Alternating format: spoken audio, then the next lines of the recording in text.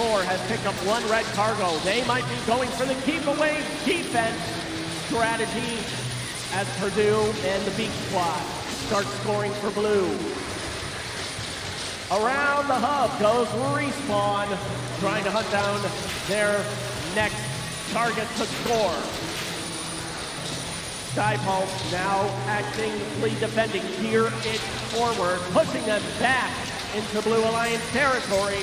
Purdue all alone over by the blue hangar trying to pick up that loose piece of cargo. They will score the one they have. That's two more points for blue. Here's the next flurry. Four more points for blue and four more points for red.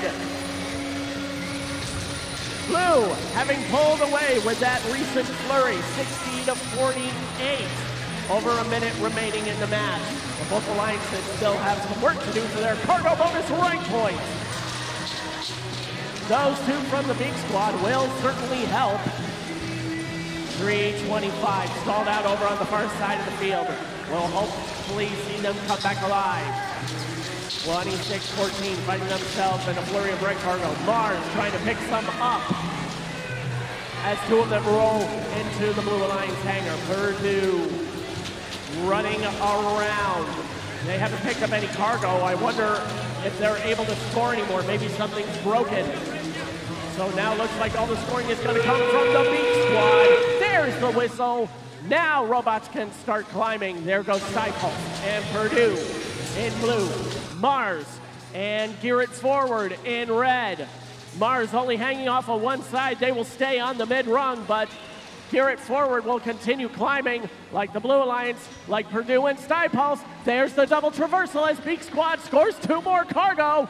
They've got their bonus rank point. Three, two, one.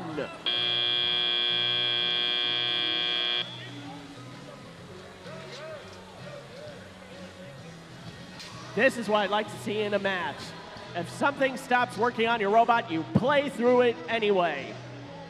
That's the kind of adversity I'd like to see from teams.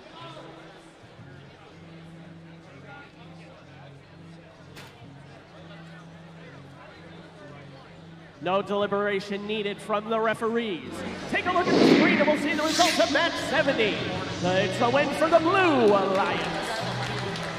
116 to 75. Blue had control once we got to the latter half of the match. That's four more rank points, which I'm sure the Blue Alliance will very much appreciate. The